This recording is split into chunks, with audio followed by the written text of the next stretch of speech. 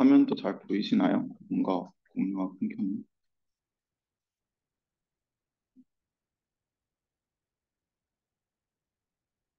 화면 안 보이나요?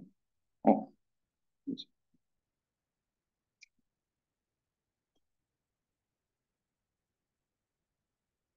아, 네, 보인다고 하네요.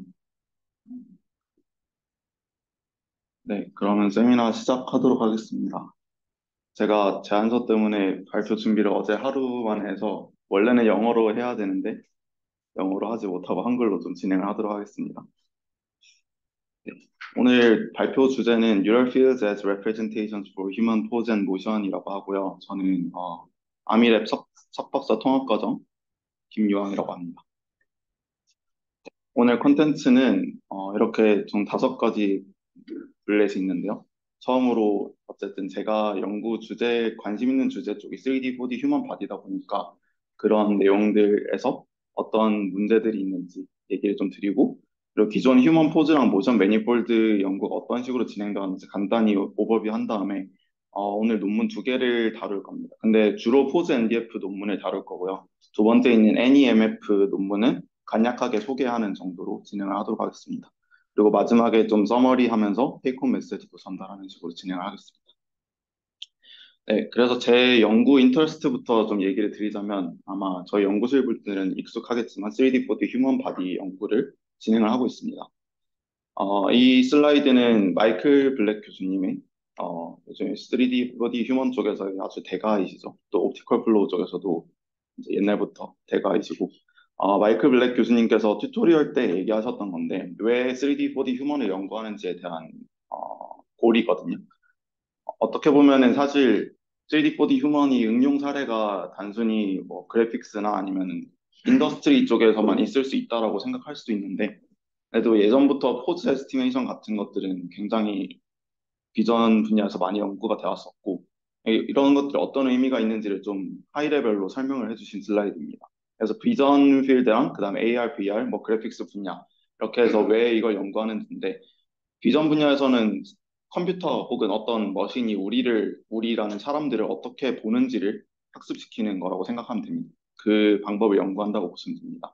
뭐 우리의 포즈를 추정함으로써 감정을 분석한다든지 아니면 pose sequence를 통해서 다음 포즈를 예측해서 뭐 어떤 이 사람이 어떤 의도를 가지고 있는지를 좀 분석할 수도 있게 되고요.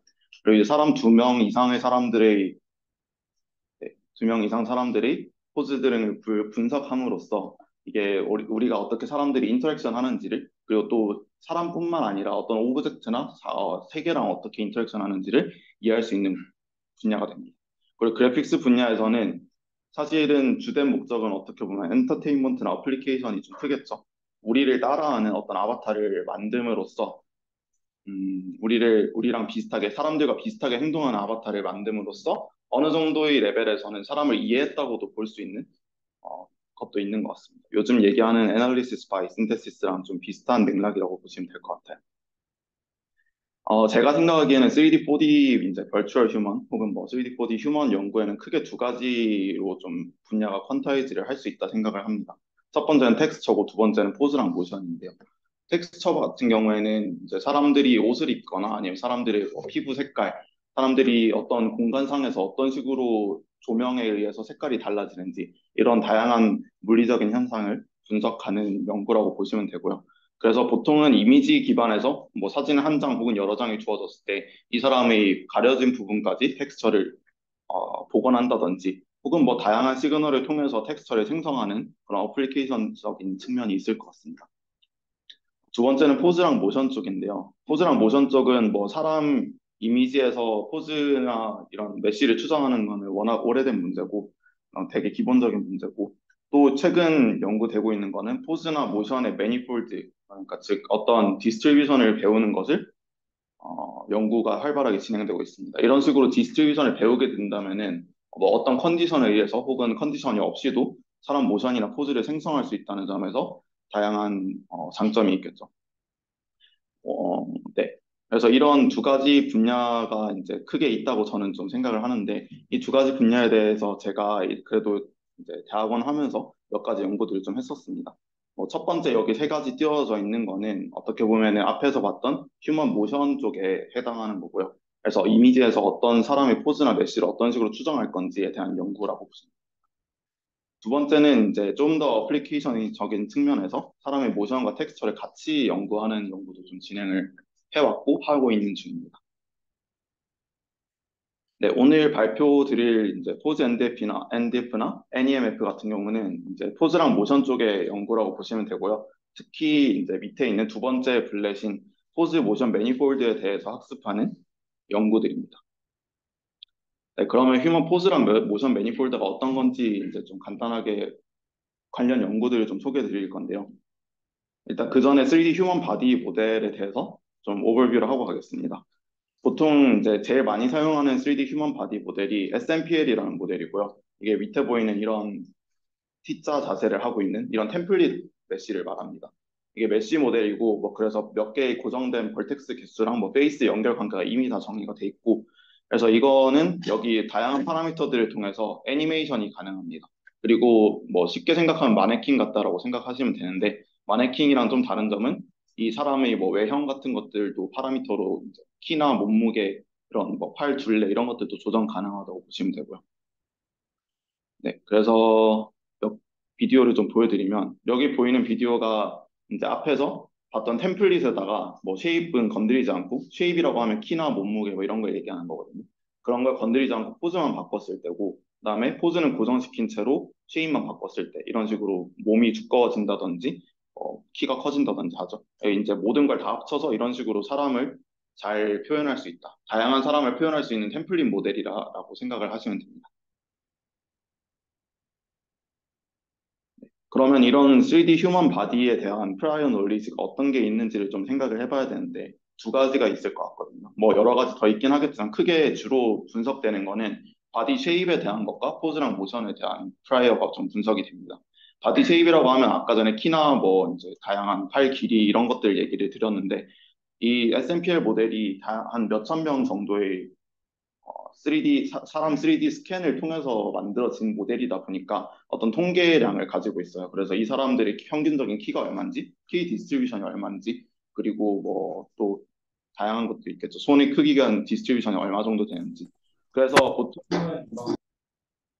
키 같은 것들을 통계량을 내보면은 어, 느 정도 Gaussian 분포를 따라가도록 설계가 되어 있습니다.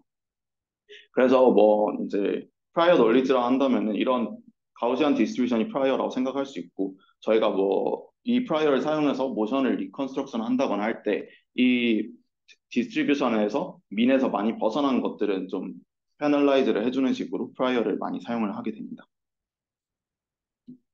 그리고 이제 포즈랑 motion prior 같은 경우는 되게 직관적이라고 볼 수 있어요. 그 사람 팔이나 뭐 다리 관절 각도들이 어느 정도 꺾일 수 있는, 변할 수 있는 범위가 정해져 있잖아요. 그런 것들을 미리 조금 사전에 define 해놨다고 볼 수 있습니다. 팔이 이제 이렇게 바깥쪽으로 꺾이는 경우가 잘 없듯이 이런 식으로 바깥쪽으로 꺾이는 경우들을 out distribution이라고 좀 생각할 수 있을 것 같고 possible pose랑 impossible pose의 distribution이 좀 나눠져 있을 거라고 생각할 수가 있을 것 같아요. 네, 그럼 이런 prior들은 어떤 식으로 모델링을 하는지 해왔는지에 대해서 좀 얘기를 드릴 건데 어, 특히나 이번 연구 소개 드릴 것들은 포즈랑 motion prior다 보니까 이제 shape 쪽은 따로 나중에 다음에 기회가 되면 얘기를 드리고 포즈랑 모션 쪽에 집중해서 얘기를 하겠습니다. 보통은 이제 그 marker base로 모션 캡처를 한 데이터들이 좀 large scale 데이터들이 있어요. AMASS라는 데이터가 있는데 그런 데이터에다가 generative method를 사용해서 생성 모델 기반으로 혹은 뭐 그런 방법들로 모델링을 많이 합니다. 그래서 좀 크게, 크게 두 가지 work들이 있었는데요. 첫 번째는 VPoser라는 연구가 있습니다. 이건 그냥 제일 간단한 VAE 구조라고 돼요. AMASS 같은 모션 캡처 데이터에서 프레임을 그냥 랜덤하게 selection해서 어떤 특정 포즈를 하나씩 딱 붙여요. 그 포즈를 이제 VAE 인코더를 통과시켜서 뭐 이제 latent의 mean과 deviation을 뽑고 이걸 reparametrization trick을 통해서 latent로 만든 다음에 decoding해서 복원하는 식으로 이 가운데 latent distribution 학습하는 VAE 구조라고 보시면 되고요. 그래서 이 나중에 결국에는 학습이 다 된 VAE를 뭐 앞에 인코더는 떼내고 랜덤 샘플링을 통해서 뭐 이제 랜덤한 포즈들을 자연스러운 포즈들을 생성한다든지 할 수 있습니다. 어, 앞서 말씀드렸다시피 latent는 Gaussian distribution이라는 가정을 하고 들어가게 되고요. 두 번째는 HuMoR라는 논문이 있습니다. 이거는 이 두 개가 다른 점은 왼쪽 VPoser 같은 경우는 single frame pose만 다루거든요. 그래서 고정된 사람의 포즈가 자연스러운지 아닌지를 판단하는 그런 manifold를 배우고요. 오른쪽은 motion prior예요. 그래서 어떤 input state 이전 state t-1의 포즈가 들어왔을 때 어, 이거를 condition으로 랜덤 샘플링해서 다음 포즈를 생성해내는 어, 그런 VAE conditional VAE 구조라고 생각하시면 됩니다. 그래서 구조는 전체적으로 인코더, 디코더, 그 다음에 prior distribution 이렇게 어, 세 가지 해서 비슷하게 구성이 돼 있고요. 그리고 이, 이 역시 마찬가지로 VAE다 보니까 가운데 latent는 Gaussian으로 assumption이 들어가고 이제 특히 또 이거는 두 가지 인접한 프레임을 다루다 보니까 이제 어떤 T state에서 T에서의 state가 이전 프레임에서의 state에서만 영향을 받는다는 마르코프 assumption을 사용을 하게 됩니다. 이런 식으로 모델링 했던 게 문제들이 있었다는 거를 이번에 소개드릴 논문에서 제기를 하는데요. 첫 번째로 아 이제 가장 중요한 건 이 가운데에 있는 VAE의 이 Gaussian assumption이 주된 문제라고 지적을 합니다. 이게 보통은 제일 많이 사용하는 방법이잖아요. 어떤 VAE를 학습하는 데 있어서 혹은 어떤 distribution을 학습하는 데 있어서 되게 일반적인 방법인데 여기 Pose-NDF 논문에서 지적하는 점은 세 가지가 있습니다. 이게 Gaussian distribution의 mean의 센터 4개, 그러니까 가운데 가장 확률이 높은 쪽 포즈들만 생성하도록 이게 바이어스가 걸리게 된다. 그 다음에 어떤 물리적인 포즈들의 디, distance라 할까요? 뭐 팔을 이렇게 들었을 때랑 살짝 위로 올렸을 때는 사실 두 개의 포즈가 굉장히 가깝다고 볼 수 있는데 그런 물리적인 distance를 latent space 상에서 보존하지 못한다는 단점을 지적을 합니다. 그리고 Gaussian distribution이 어떻게 잘려 있는 distribution이 아니고 unbound 돼 있는 분포이다 보니까 이게 굉장히 unbounded 된 distribution이라서 뭔가 포즈들이 의미 있게 분포되지 않는 dead region들이 발생한다라는 문제들을 지적을 하게 됩니다. 이는 나중에 실험적인 부분에서 조금 증명을 하는 게 실려 있고요. 나중에 좀 더 얘기를 드리겠습니다. 그래서 이제 Pose NDF라는 게 작년 ECCV에 등장을 하게 됩니다. 이 논문은 어, best paper honorable mention을 받았던 걸로 제가 기억을 합니다. 근데 제 생각에는 best paper들이 보통은 조금 이론적인 것들을 가미한 논문들이 많이 받는 혹은 혹은 고전적인 것들을 잘 푼 논문들이 좀 받는 것 같은데 이 논문은 뭐 문제 자체는 의의가 있고 한데 방법 자체가 어려운 건 아니에요. 다른 best paper 받은 것들처럼 이렇게 이론적으로 빡센 논문은 아니라고 좀 생각이 듭니다. 근데 실험적인 부분이나 이런 게 되게 clear하게 잘 작성되고 motivation도 명확해서 받지 않았을까 추정합니다. 네, Pose NDF에 대한 concept을 먼저 얘기를 드리자면 결국에는 앞에서 했던 VA, 아, V포즈나 휴머랑 비슷하게 어떤 사람의 포즈에 대한 continuous한 manifold를 배우고 싶은 거예요. 근데 이 manifold는 사람의 plausible한 포즈, 그러니까 사람이 같이 할 수 있을 것 같은 포즈들에 대한 manifold를 학습한다고 보시면 됩니다. 근데 그 학습하는 방식이 neural distance field라는 걸 사용을 한다는 뜻이고요. 여기 보시면 이 초록색 점들이 plausible pose를 얘기하고 이 빨간 보라색 점들이 약간 사람이 취하기 힘들 것 같은 이상한 포즈들을 out of distribution pose들을 의미합니다. 이런 식으로 다양한 포즈 샘플들이 있을 때 얘네들을 neural distance field라는 걸 기반으로 이런 continuous한 manifold를 배워서 다양한 응용 사례를 응용해 써보자라는 거고요. 이제 그러면은 Pose NDF에 두 가지 단어가 있죠. 포즈랑 NDF가 있습니다. 포즈는 앞에서 얘기 드린 것, 그 SMPL 모델에서 생각하면은 어떤 사람 관절의 3D rotation을 나타낸다고 보시면 되고요. NDF는 neural distance field를 얘기합니다. 이제 각각에 대해서 조금만 더 자세하게 얘기를 해보겠습니다. human body pose 같은 경우는 앞에서 봤던 이게 SMPL 모델, template 모델인데요. 어, 사람 관절을 한 20몇 개로 미리 정의를 해놨습니다. 그래서 이 관절 하나하나가 kinematic chain이라는 게 존재해요. 그래서 뭐 사람 팔꿈치는 사람 손목보다 hierarchy가 높고 뭐, 뭐 머리는 목보다 hierarchy가 높고 이런 식으로 좀 순서가 정해져 있습니다. 그럼 kinematic chain에 의해서 어떤 한 노드가 자신의 parent node에 대한 상대적인 rotation이 어느 정도인지를 어떤 rotation matrix로 나타내는 거거든요. 휴먼 바디 3D 로테이션이라고 생각하시면 됩니다. 그래서 뭐 K개의 joint들에 대해서 각각 rotation이 어떻게 되는지를 다 모아서 뭐 SO3의 K개 이런 식으로 표현을 많이 하고요. 그래서 이 파라미터를 이 되게 물리적인 파라미터죠. 이건 뭐 neural network랑 전혀 상관이 없고 그냥 관절 각도를 의미한다고 보시면 됩니다. 그리고 이, 이런 포즈를 나타내는 게 이제 3D rotation인데 보통 이런 rotation은 SO3 그룹이라는 특정한 그룹의 성질을 만족하는 그 rotation matrix들을 아 혹은 그런 matrix들의 변환들을 얘기합니다. SO3가 아마 뭐 special orthogonal group 뭐 이런 거였던 것 같아요. 근데 이게 만족해야 되는 성질은 뭐 determinant가 1이어야 된다. 왜냐면은 오른손 좌표계에서 이제 그 물리 시간에 오른손 법칙 같은 거 배우잖아요. 그런 걸 만족하는 성질이 determinant가 1이어야 되는 그런 성질이 있는데 rotation matrix가 그런 걸 만족하는 뭐 3 by 3짜리 matrix가 되고 이거를 다양하게 변환할 수가 있습니다. 여기 뭐 변환 식들이 나와 있는데 아, 변환하는 방법들이 나와 있는데 axis angle이라는 표현도 가능하고 뭐 quaternion이라는 다른 표현도 가능합니다. 또 잘 사용 이제 쪽 human body pose 쪽에서는 잘, 잘, 잘 사용되진 않는 Euler angle이라는 것도 있습니다. 네, 그래서 rotation matrix는 3 by 3이 되고요. 여기 밑에 SO3 그룹에 대한 정의가 좀 나와 있습니다. 어떤 rotation이랑 rotation의 transpose를 적용했을 때 두 개를 이렇게 곱해주면은 다시 원래 그러니까 identity matrix가 나와야 된다. 어떤 30도만큼 갔다가 30도만큼 돌아오면 다시 원래대로 돌아와야 된다는 성질이고요. 그리고 오른손 법칙을 암시하고 있는 determinant 1 조건이 들어가게 됩니다. 그래서 아 이거는 아마 이게 증명이 있어요. 이 R 매트릭스에다가 유닛 벡터 같은 거 곱해가지고 걔네들 나중에 eigenvalue였나? 그런 거 판단해 봤을 때 뭐 1이 나와야 된다. 그런 증명이 좀 찾아보면 있어요. 그래서 그거는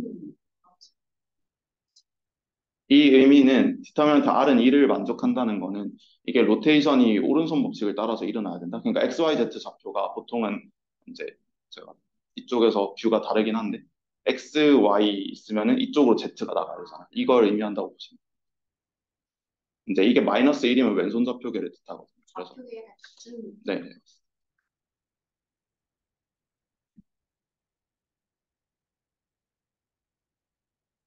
네, 그래서 보통은 SO3 그룹의 로테이션 매트 여, 여보세요? 잘 들리나요? 네, 들립니다.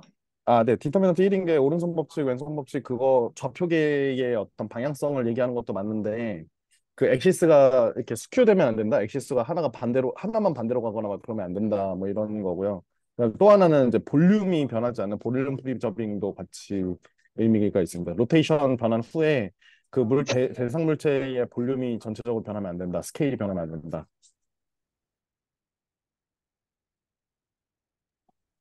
감사드립니다.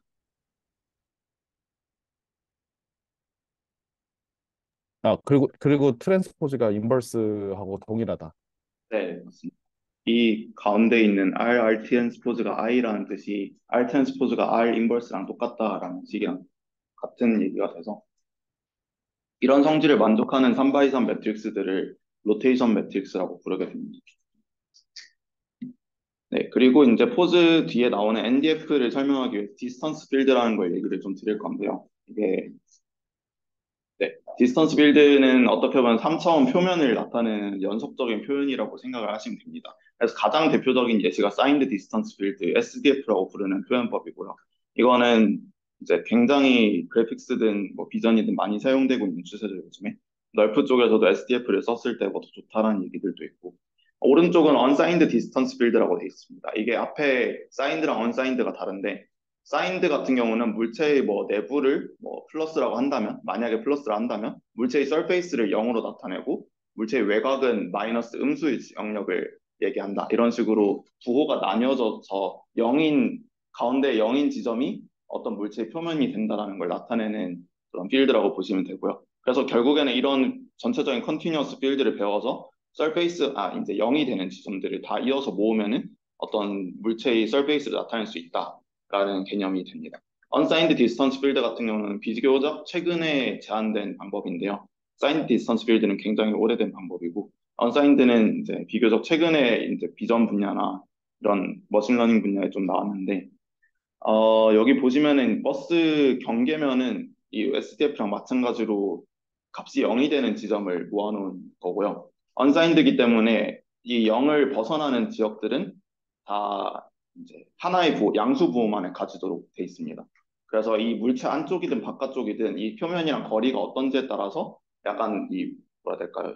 L1 디스턴스처럼 이렇게 표면에서 0이고 나머지는 거리가 커지는 이런 식으로 생각을 하시면 되고 여기 그림에 보면은 이쪽에 가운데 잘 보일지 모르겠으나 여기 표면이 흰색이었다가 진한 진한 파란색이었다가 점점 연해지거든요. 표면 안쪽으로 들어올수록 그런 식으로 이거 바깥도 여기 노란색으로 연해지죠. 이게 언사인드한 그런 표현이다라고 생각하시면 됩니다. 그럼 이걸 왜 굳이 언사인드를 만들었는지에 대한 얘기를 좀 드려야 될 것 같은데 어, 2020년 아, 네. 사인드 서비스 여기 그냥 이렇게 음, 안팎을 구분하는 게 크게 이제 중요하지 않은 경우에 쓰이는 경우가 많은 것 같아요. 이제 보통은 SDF 같은 경우는 3D 오브젝트를 사실 바, 안이면 안이고 밖이면 밖이라서 안쪽은 그냥 거의 차 있다라고 생각할 수도 있잖아요. 표면만 중요한 거니까. 근데 여기 뒤에서 말씀드릴 건데 SDF가 이런 closed surface를 잘 나타낸다면 SDF는 이런 식으로 뭔가 열려 있는 manifold나 아니면 이런 끊겨 있는 function들을 표현하는 게 문제가 되겠죠. 이게 안과 밖만 다르기 때문에. 근데 이런 unsigned field, 여기는 NDF라 적혀 있긴 한데 이런 unsigned field를 쓰면은 open surface를 다룰 수 있다는 점이 있어서 좀 두 개 목적이 다르다고 보시면 될 것 같아요. 단순 geometry만 나타내기에는 SDF도 충분할 것 같고 근데 저희가 이제 이번 논문에서 다루고자 하는 이런 manifold나 function들을 다루기에는 unsigned가 좀 더 용이한 표현이더라, 좋은 성질들을 많이 가지고 있더라 하는 게 이제 NeurIPS 20년에 나왔던 논문입니다. 그리고 또 하나 장점은 어, SDF 같은 거는 이제 이거 3D 오브젝트에다가 SDF 피팅할 때는 어떤 보통은 closed 돼 있는 물체들을 많이 fitting을 하잖아요. 근데 예를 들어 point cloud 같이 되게 sparse하거나 닫혀 있지 않은 어떤 경계가 없는 물체들을 표현하기에는 SDF는 적합하지 않단 말이죠. 그래서 그럴 때는 unsigned distance field가 좀 더 용이하다라는 이제 결과가 논문에 좀 나와 있었습니다. 사실 이게 같은 그룹에서 나온 논문인데 이게 NeurIPS 20년에 먼저 나왔고 얘를 포즈 도메인으로 끌고 온 게 포즈 NDF라고 보시면 됩니다. 네, 그래서 NDF가 어떤 function이나 manifold를 표현하는 데는 좀 더 좋은 표현이더라 하는 게 결국 선행 연구가 있었고요. 그래서 포즈 NDF는 그럼 다시 정리를 좀 해보면은 이제 어떤 in-distribution pose 혹은 뭐 plausible한 pose, pose manifold를 이런 continuous한 surface에다가 mapping을 하고 싶은 거고 그 surface를 neural distance field를 통해서 만들어내는데 그건 neural unsigned distance field입니다. 여기 그림에도 보면은 가운데 표면이랑 좀 먼 쪽은 다시 흰색으로 이렇게 값이 커지는 걸 확인할 수가 있죠. 가운데는 0이고 이, 이런 표면은 0을 나타내고 나머지는 값이 점점 커지는 형식으로 표현이 되게 됩니다. 네, 그러면 조금 더 수식적으로 얘기를 들어보면은 SO3K 이거는 아까 전에 봤던 human body pose를 얘기하는 거죠. K개의 관절에 대한 SO3 로테이션들의 집합, 아, 그 set인데 어, 어떤 neural network가 있어서 혹은 어떤 함수가 있어서 이런 포즈들을 논 네거티브 스칼라로 매핑을 하는 함수가 F가 있다라고 칠 수 있습니다. 그럼 여기서 우리가 plausible pose의 manifold라고 한다는 것은 이 F의 zero level set, 그러니까 이 값이 0이 되는 지점들을 싹 다 이어서 모으면은 그 surface가 manifold가 된다라는 얘기입니다. 그래서 이런 걸 만족시키는 neural network F를 학습하는 게 포즈 NDF의 목적이라고 보시면 돼요. 그래서 인풋은 포즈가 되고 아웃풋은 이 surface로부터의 어떤 거리라고 생각을 하시면 될 것 같습니다. 이 관계를 잘 만족하는 함수 F를 배우는 게 포즈 NDF다라고 보시면 됩니다. 여기 식이 이제 컨디션이 F 세타 어떤 포즈를 넣었을 때 0이 되는 지점이 이 S가 되는 거죠. zero level set을 얘기하는 거. 그러면 진짜 몰라서 그런데 unsigned, unsigned 저게 어떻게 표현이 돼요? 네, 맞습니다. 그래서 어떤 표면에 매니폴드를 매핑시키겠다는 개념은 똑같은 거고 사실 하나 아쉬운 점은 이 논문에서 이걸 뭐 사인드로 했을 때는 어떤 식으로 되는지는 비교는 안 했던 게 좀 아쉽긴 한데 어쨌든 어, 앞에 선행 연구에서 이런 매니폴드가 언사인드가 더 좋다 하는 게 있어서 그냥 그걸 그대로 사용해서 쓴 거라고 생각이 됩니다. 네.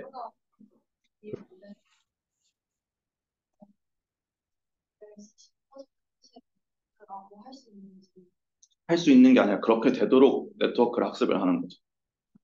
그 혹시 질문이 좀 원격이 잘 안 들려서 아, 네네. 정리를 해주거나 마, 네, 마이크를 네, 질문이 이제 어, 네. 일단 첫 번째 경선님 질문은 어, 이게 SDF든 Unsigned Distance Field든 어쨌든 zero level set이 surface가 되는 것이 맞나요? 라는 질문이셨고 맞다라고 얘기를 드렸고 근데 다만 이제 여기서는 NDF 아, Unsigned Distance Field를 다뤘고 근데 김지현 학생 질문은 어, zero level set이 왜 plausible한 포즈의 manifold가 되는지를 이해가 좀 힘들다라고 하셨는데 어, 약간 순서가 다른 게 이런 zero level set이 plausible한 포즈의 manifold를 나타내도록 이런 데이터 기반으로 네트워크를 학습 어떤 function F를 학습시키겠다라고 보시면 됩니다.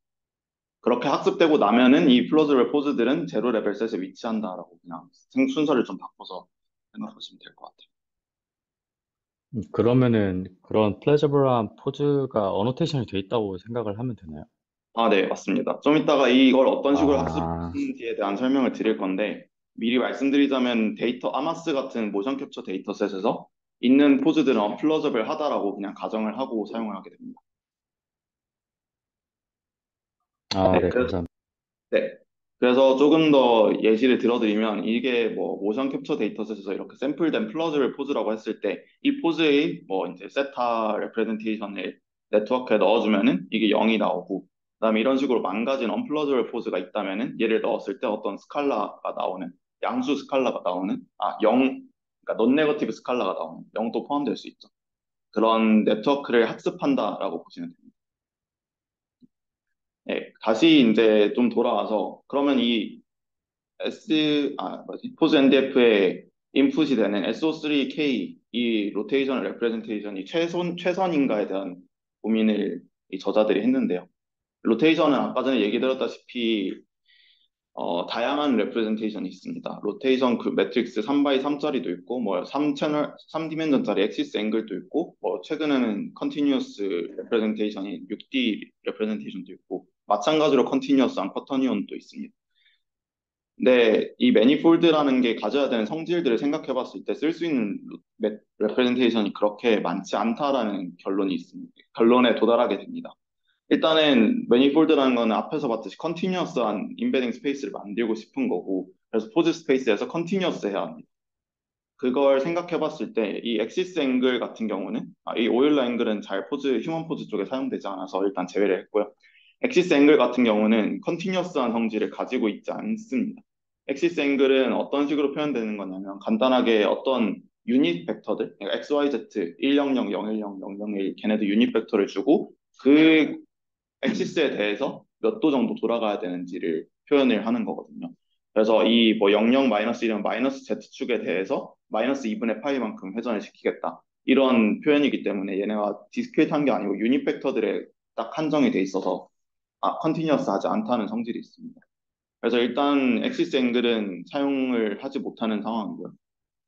그럼 이제 rotation이랑 quaternion이 남았는데 여기서 또 몇 가지 더 만족시키고 싶은 성질들이 있습니다. 일단 첫 번째로 저기 앞에서 기존 방법들의 문제라고 지적을 했던 어떤 물리적인 distance를 관절 포즈 간의 물리적인 distance를 보존하지 못하는 거를 여기서는 하고 싶은데 그러면 distance computation이 용이해야 된다라는 이런 컨디션이 하나가 생기고요.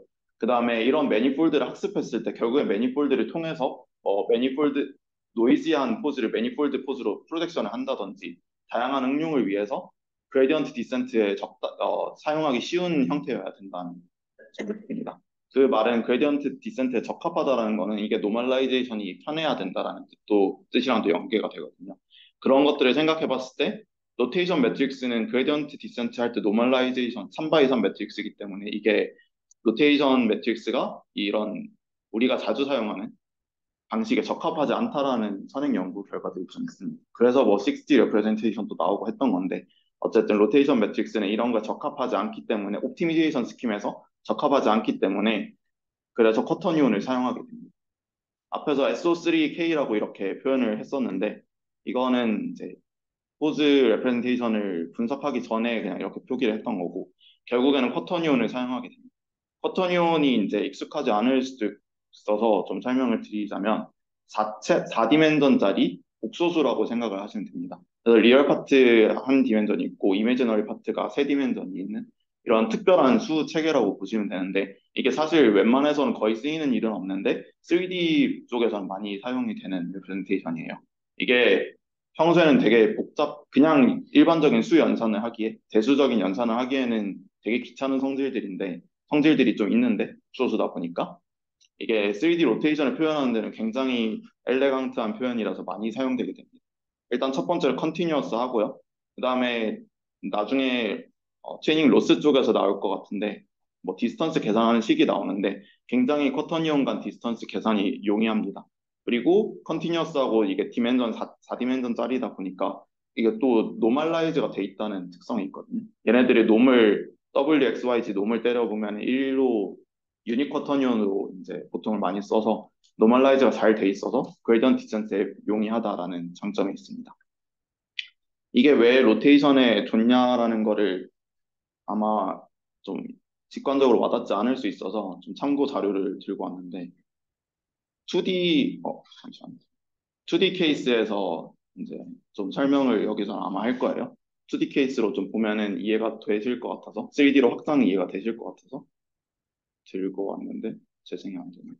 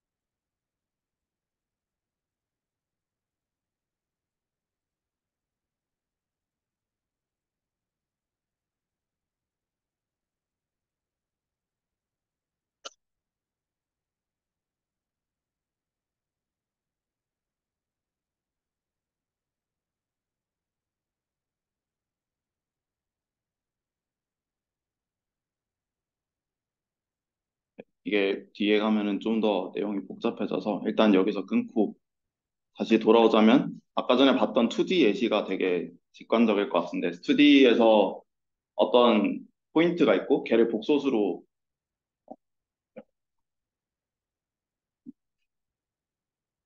네, 2D 예시가 있고 복소수로 표현했을 때 로테이션을 적용하는 게 굉장히 쉬워지죠. 그냥 곱셈을 해주면 되는 거죠. 어, 잠시만요.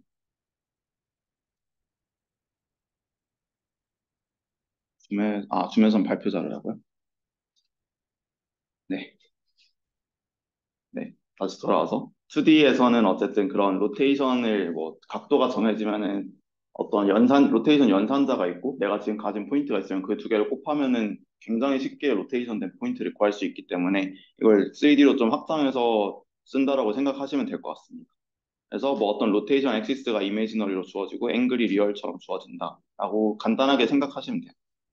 어쨌든 quaternion이 쓰기 좋은 성질들을 가지고 있어서 이 Pose NDF에서는 SO3K 대신에 이 리얼 넘버 4가 커터니온의 4디멘전에서 오는 OK게이 조인트들에 대해서 quaternion 각각을 다 이제 가지고 있어서 4K짜리 실수 벡터라고 생각하시면 됩니다. 어, 그 coefficient들을 다 input으로 넣어서 앞에서 했던 것처럼 unsigned distance field를 예측하는 그런 네트워크를 학습을 하게 됩니다. 그리고 앞에서 quaternion이 distance 계산이 용이하다라고 했는데 이 여기 밑에 두 번째 참고 자료로 나와 있는 옛날 논문에서 이 quaternion 혹은 어떤 로- 어떤 3D 로테이션들 간에 포즈 계산하는 걸 잘 정리를 해놨어요. 근데 거기서 그냥 따왔다고는 하는데 이게 물리적인 의미가 당연히 있겠죠.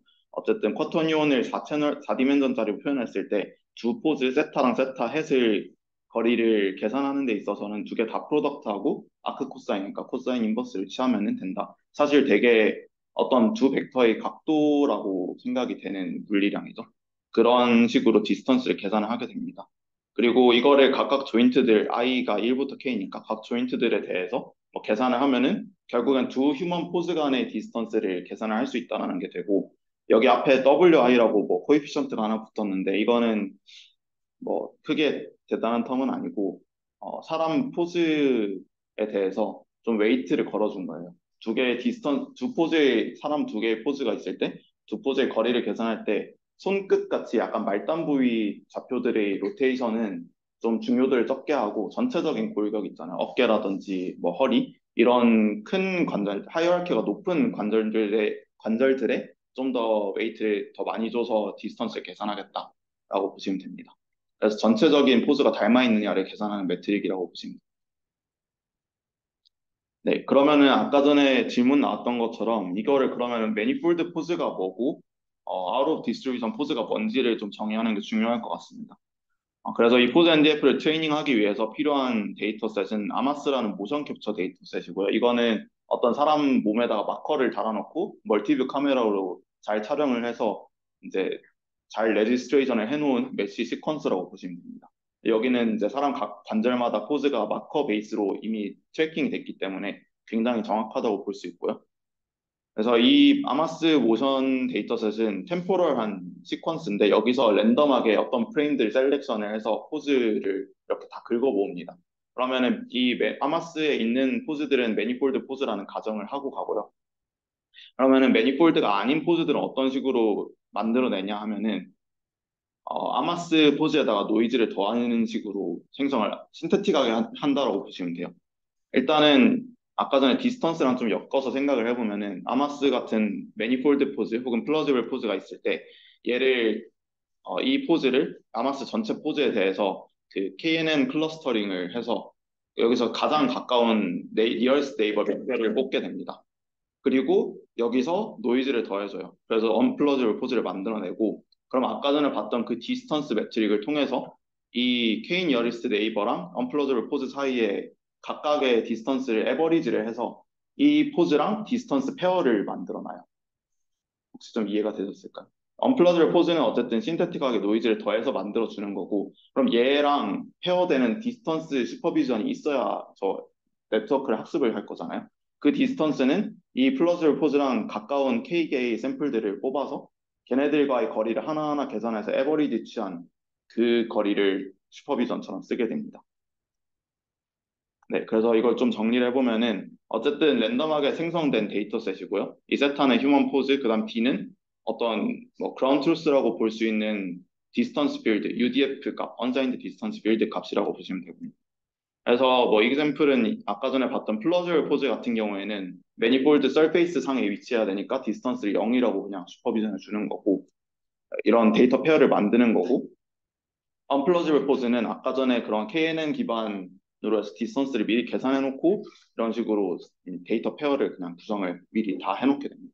synthetic 데이터를 네, 쫙 쌓아서 네트워크 학습합니다. 0이면 똑같은 포즈들만 가져가면 아, 좀 가까운 애들이 어, 질문이 이제 DI가 0이면은 똑같은 포즈들로 구성이 되는지 여쭤보셨는데, 어, DI가 0인 경우는 사실 앞에서 봤던 이런 dataset 안에 있는 모든 포즈들이 다 DI가 0이 되는 거죠. 그래서 이게 manifold 상에서 이 지점은 당연히 이제 비슷한 포즈들이 위치해 있겠지만, 여기 이 여기 라인에 있는 점들도 다 DI가 0인 포즈, 포인트들이거든요. 그래서 여기는 또 다른 포즈들이 존재할 수 있겠죠. 그래서 어떤 사, 가, 발생할 수 있는 모든 포즈에 대해서 모든 AMASS에 있는 모든 plausible 포즈들은 다 0을 가진다고 보시면 돼요.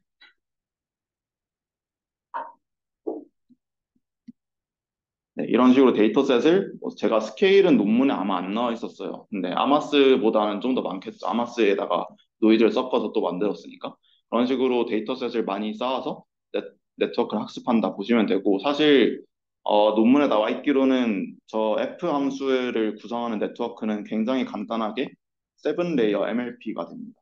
이제 살짝 나눠져 있긴 한데 어떤 2 layer, 5 layer 이런 식으로 총 7 layer짜리 MLP가 돼서 굉장히 간단한 혹은 파라미터가 굉장히 적은 어, neural 표현으로 이런 포즈 manifold를 학습했다라고 보시면 됩니다.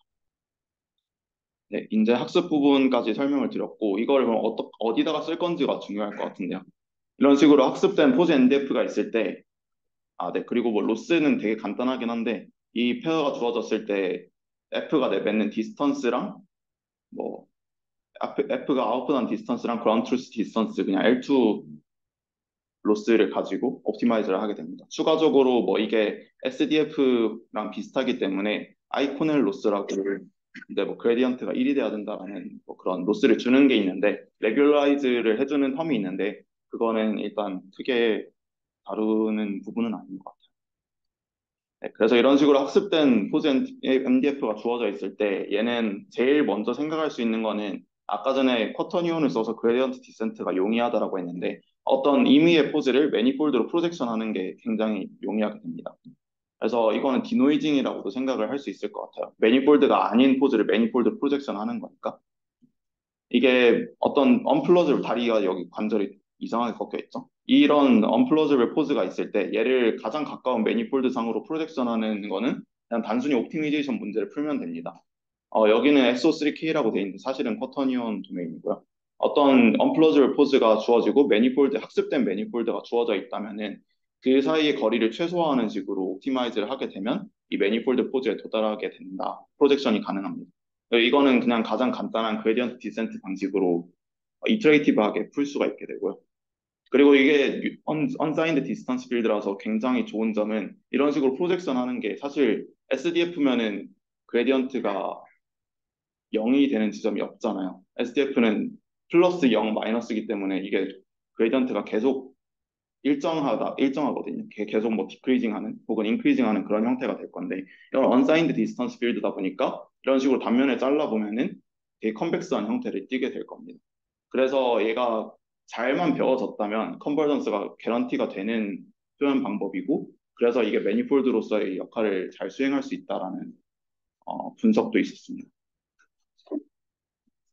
네, 그리고 이걸 또 어디다 쓸 건지를 좀 더 이제 비디오 결과 위주로 수치는 뭐 당연히 좋겠죠. 뭐 좋으니까 안 넣고 그냥 비디오 결과 위주로 좀 보여드리겠습니다. 어, motion denoising problem이라고 해서 이런 식으로 뭐 모션 캡처가 잘못됐을 수도 있고 혹은 뭐 비디오에서 예측한 모션이 noisy 할 수도 있는데 이런 거를 어, denoising 하는데 이런 모션 manifold가 포즈 manifold가 쓰일 수가 있게 됩니다. 이, 이 과정은 앞에서 봤던 모션 manifold projection이랑 똑같이 optimization으로 수행을 할 수가 있게 되고요.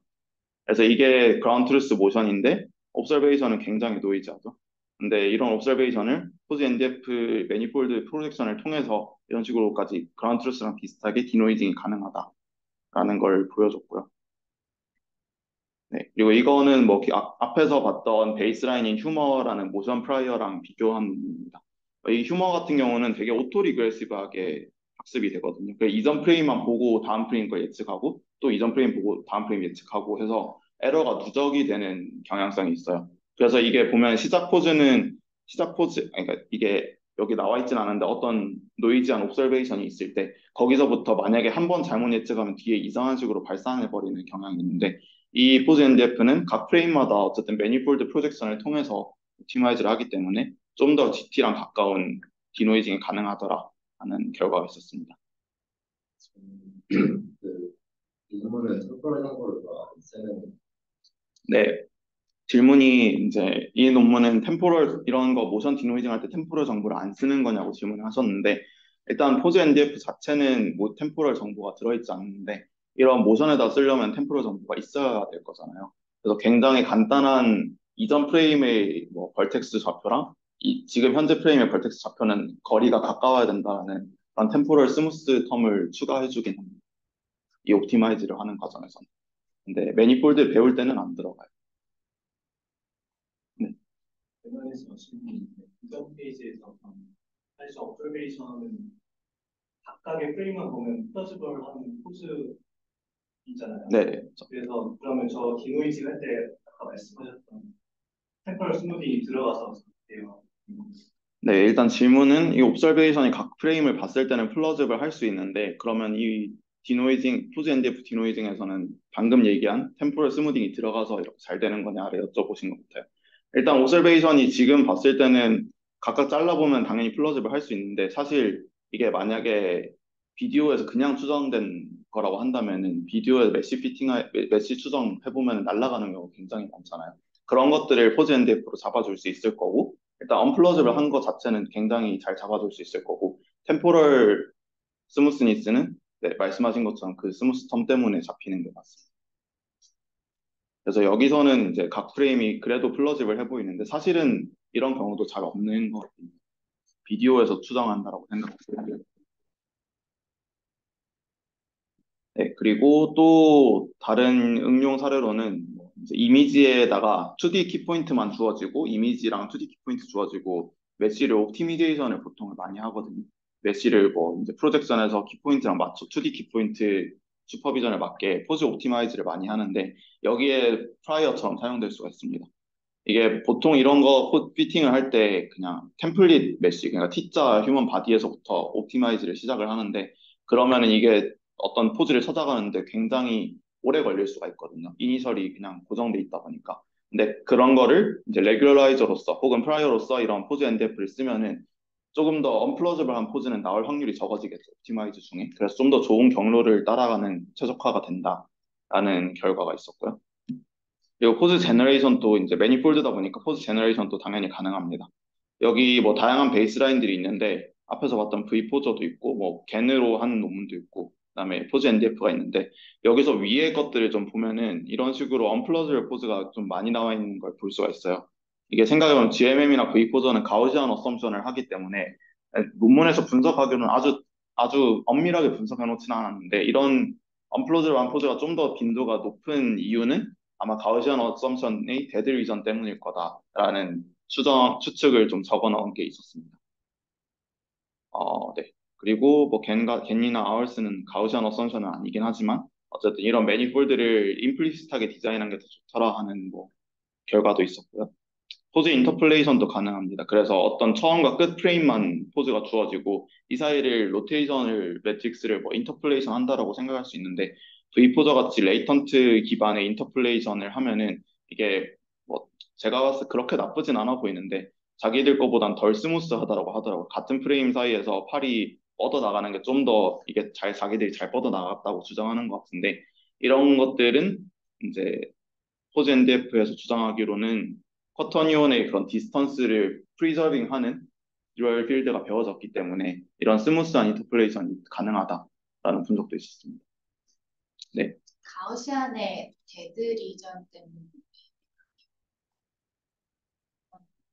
음, VPoser 같은 경우는 어떤 포즈를 encoding해서 Gaussian distribution 상의 포인트로 mapping을 하고 걔를 포즈로 디코딩을 VA로 하는데 그게 학습할 때는 이제 포인트들을 다 Gaussian으로 mapping을 하지만 나중에 random sample 학습 다 끝나고 encoder 떼고 Gaussian noise를 sampling을 하면은 그게 사실 학습된 데이터로 Gaussian의 이 unbounded된 distribution 모두 커버하지 못할 가능성이 있잖아요.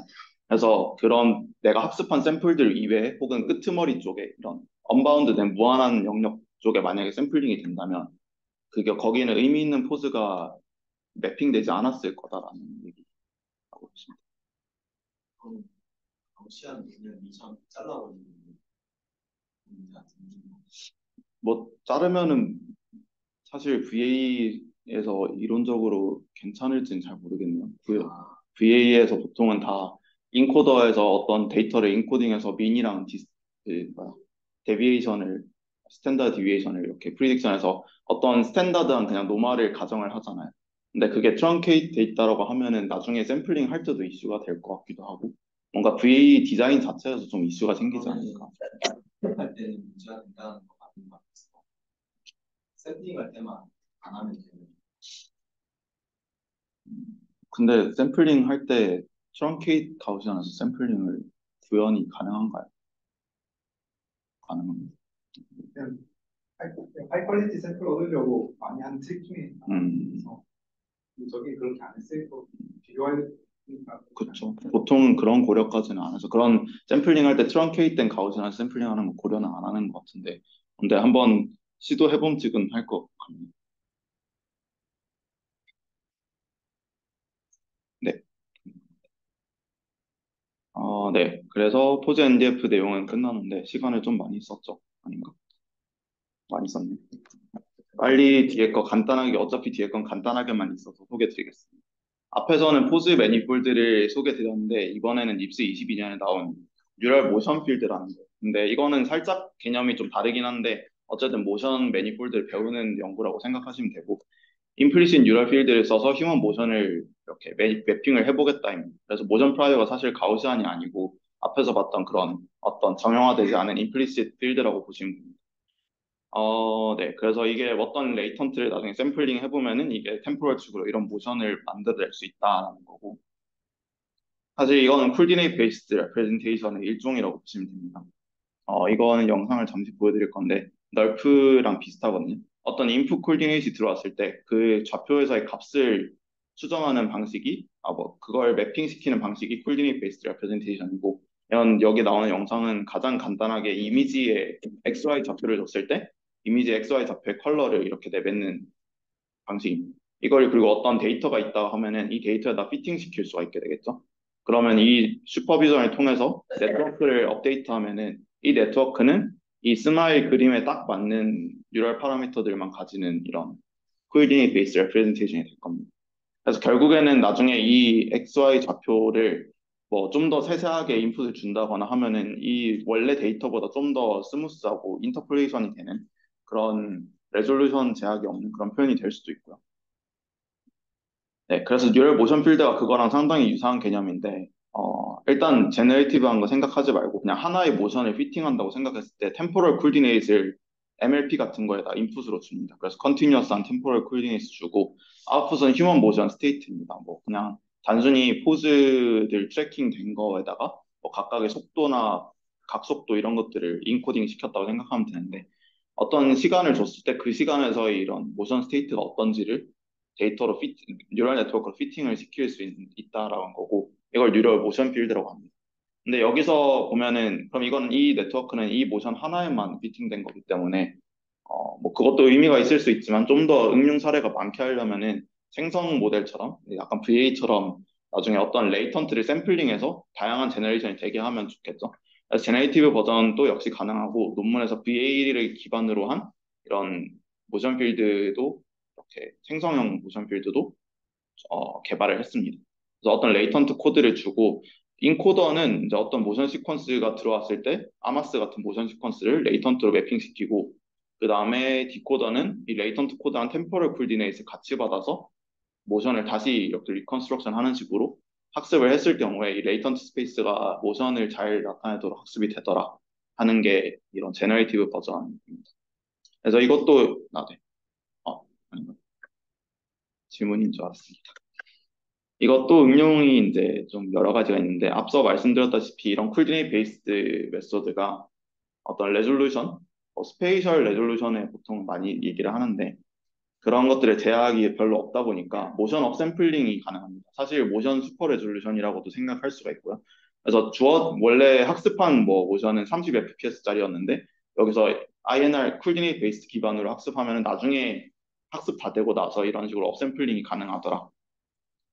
사실 이게 한 1초에 30프레임이라서 조금 이건 빨리 재생한 거긴 한데 그 사이를 사실 어떤 식으로 interpolation 할지는 데이터가 없는 거거든요. 근데 이런 식으로 coordinate base로 학습하게 되면 이 사이를 프레임을 두 배를 늘리거나 여덟 배를 늘려도 슬로우 모션을 봤을 때 전혀 이상해 보이지 않는 그런 모션의 그런 흐름이 나타나게 되는 거죠. 그냥 저 30p FPS를 느리게 재생하는 쪽에 어떤 느려지고 음, 음, 제가 질문을 잘 이해를 못한 것 같은데. 저 두 번째, 세 번째가 됐다는 게 어떤 점인지 잘. 아, 음, 네, 질문이 이제 30fps랑 이 60fps, 240fps가 되는 게 어떤 의미인지 와닿지 않는다라는 게 질문이었는데 1초를 30개로 나누면은 그 디스크리트하게 나누는 거잖아요. 그러니까 뭐 30개로 나누면 뭐가 됐어요? 2초, 아니 1초를 30개로 나누면 어쨌든 그 30개 구간 사이 사이 이 좌표 그리드 사이 사이에서는 어떤 값을 가지는지 사실 모르잖아요. 그러니까 이거 해상도라고 생각하셨는데 픽셀이랑 똑같은 개념이거든요. 그래서 어떤 이미지가 픽셀로 표현돼 있을 때 224 by 224로 표현됐을 때랑 1096, 1096으로 표현됐을 때 둘이 나중에 확대해 보면은 다르잖아요. 그래서 이 30fps짜리를 이제 이거랑 비슷하게 똑같은 뭐 frame rate로 재생을 한다든지 하면 얘는 굉장히 끊겨 보이겠죠. 얘는 그 프레임 나눠놓은 거 사이를 어떤 식으로 메꿀지에 대한 정보가 소실되어 있는 거니까. 근데 얘는 얘를 두 배나 더 upsampling하고 얘는 여덟 배 upsampling한 거니까 1초를 240번으로 나눈 거니까 더 이 30보다는 한 구간 안에서 여덟 배나 더 많은 데이터가 있는 거니까 더 스무스한 모션이 생성 뭐 생성 혹은 표현이 가능하다라고 보시면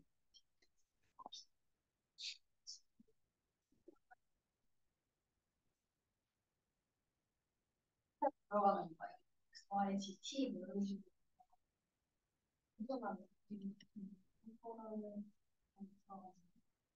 네, 질문이 이런 템포럴 쿨링의 인풋이 어떻게 들어가는 건지에 대한 질문이었는데요. 일단은 이건 XYZ가 필요가 없겠죠? 왜냐면은 어떤 인풋이 temporal 몇 초, 뭐 이런 게 들어가서 그 초에서의 모션 파라미터만 내뱉으면 되니까 XYZ 같은 spatial한 건 필요가 없을 거고 temporal에도 당연히 그런 position encoding 들어가거든요.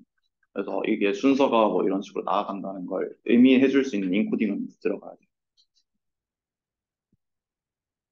네, 그래서 이런 upsampling이 가능하고 그리고 이런 motion prior를 가지고 있다면은 이 굉장히 sparse한 이 노란색이 sparse한 keyframe인데 몇 개의 keyframe만 다섯 개 정도 keyframe 주어졌을 때 이 사이를 메꾸는 것도 가능합니다. 그래서 이런 식으로 sparse한 keyframe이 이렇게 주어졌을 때 이 파란색이 생성된 거거든요.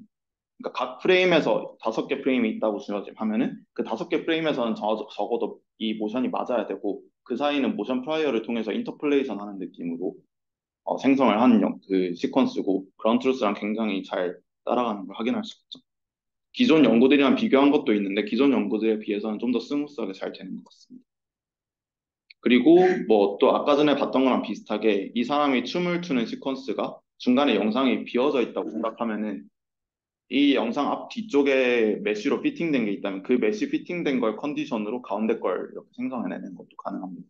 네, 이걸 처음엔 따라하다가 중간에 비디오가 끊기면은 알아서 이렇게 interpolate in-betweening이 되는 것도 어, 응용으로 쓸수 있겠다라는 어, 이런 motion field 혹은 prior의 장점이 될 것 같습니다. 네, 그래서 이제 발표가 길어졌는데 이제 좀 summary를 드리자면은 어, 제가 생각하기에 virtual human은 texture랑 모션 쪽이 있는데 오늘은 모션 쪽을 위주로 다뤘고요. 제가 생, 제가 생각하기엔 텍스처 쪽은 오히려 더 풀어야 될 게 많은 분야인 것처럼 느껴져요. 포즈나 모션 쪽은 사람들이 많이 다뤄왔는데 텍스처 쪽은 데이터부터가 일단 문제거든요. 모션도 물론 데이터가 문제인데 얘는 어느 정도 large scale data로 해결이 됐는데 텍스처는 제가 생각하기엔 diversity도 어쨌든 비슷한 정도로 많은데 상대적으로 덜 연구가 된 분야 같아요. 그래서 언젠간 또 이쪽도 다룰 수 있으면 좋을 것 같고 오늘은 이런 포즈랑 motion manifold 그다음에 이걸 통한 generation이나 다양한 응용들에 대해서 좀 얘기를 드렸습니다. 어, take-home message로 제가 좀 뭐 딱히 의견을 드린다기보다는 그냥 question처럼 던지고 싶은 것도 있는데 일단 neural fields가 아직 건드리지 않은 분야가 어떤 게 있는지도 좀 고민을 해보면 좋을 것 같아요. 모션 쪽에서는 모션이나 포즈 쪽에서는 비교적 최근에 22년, 23년 이때 시작된 것 같은데 사실 implicit neural representation은 20년 혹은 그 전부터도 연구가 되었었잖아요. 그래서 비전 쪽에서나 2D, 3D 데이터는 굉장히 많이 됐는데 여기 도메인에 이렇게 쓸 수 있다는 거는 되게 신선했던 것 같습니다. 그래서 뭐 각자 하고 있는 도메인에서 이런 manifold를 디자인한다든지 prior를 디, 디자인한다든지 할 때 참고할 만한 상황이 있는지 좀 고민해 보시면 좋을 것 같고 그리고 제가 좀 인상적이었던 건 사실 3D 랩 rotation을 quaternion으로 쓰는 거는 굉장히 일반적인 거거든요. 다들 많이 쓰고 저희 서- SFM 구현할 때도 썼잖아요. 근데 이 task에서 왜 quaternion이 제일 베스트인지를 다양한 어, 이제 뭐 requirement들을 기반으로 분석했다는 게 전 좀 인상 깊었던 것 같습니다. 네. 그냥 디자인을 당연히 일반적으로 하는 SO3로도 할 수 있을 거고 한데 그거를 quaternion으로 쓴 이유를 분석한 것 자체도 저는 되게 필요한 부분이라고 생각이 들어서 연구도 이런 식으로 하면 좋지 않을까라는 생각이 들었고 각자 하고 있는 태스크에서 너무 당연하게 쓰고 있는 게 있다면 그게 왜꼭 쓰여야 되는지나 아니면 다른 건 쓸 수 있는 게 없는지 한번 고민해 보면 좋지 않을까 라는 생각이 듭니다. 그리고 네 이거는 뭐 다들 고민 항상 하시겠지만 저는 개인적으로 휴먼 쪽 연구를 하면서 어플리케이션 혹은 이 연구가 어디 쓰일지가 좀 되게 고민이 많이 되는 것 같거든요. 근데 제가 오늘 보여드렸던 포즈 NDF나 NEMF 같은 경우는 어플리케이션들이 굉장히 그냥 시각적으로 보기도 이제 재밌고 실제로도 이, 어, 쓰이기 되게 좋은 형태의 어플리케이션들을 잘 소개를 한 것 같아요. 그래서 논문을 쓸 때도 사실 이론적으로는 간단해도 어플리케이션이 좀 탄탄하게 잘 실험들이 잘 된다면은 그것도 좋지 않나라는 생각이 듭니다. 그래서 이런 점들을 각자 연구해서 좀 생각을 해보시면 좋을 것 같습니다. 네, 오늘 발표는 여기까지 하겠습니다.